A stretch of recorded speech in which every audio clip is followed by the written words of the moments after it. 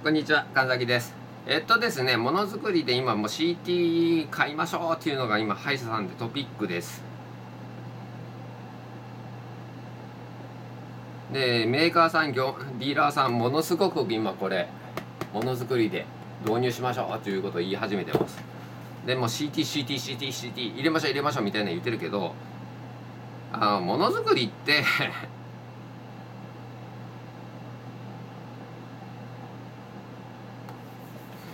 そう簡単なもんじゃないんですよね。やっぱり。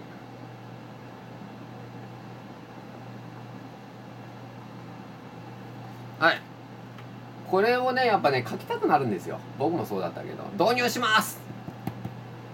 これじゃ通りません。はっきり言って。機械を導入します。じゃ通りませんので絶対に通りません。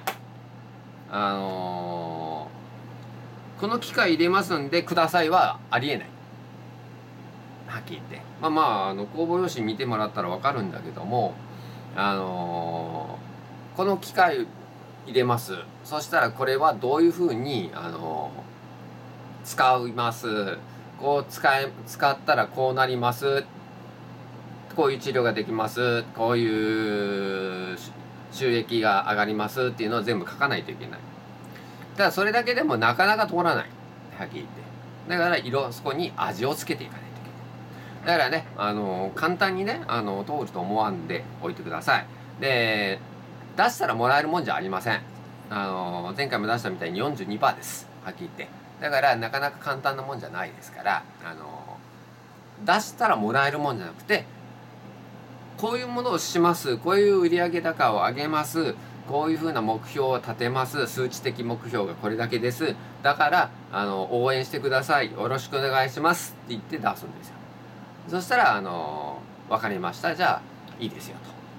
というのがあり得ると思ってください。そこは絶対じゃないですよ。42%しか僕の時には通ってない。二次公判はまだね、あの締め募集締め切ったばっかりだし今から審査が入るんだけども審査終わってからあの次のあの3次公あの公表されて3次公募っていう形になるからあのまだ先になるんだけども簡単なもんじゃないんであのこれ買いますからくださいって言ったってくれません。だからよくよく文章書き方あの頭入れて考えて書いてください。ということであのものづくりのちょっとしたアドバイスでした。それじゃあまた。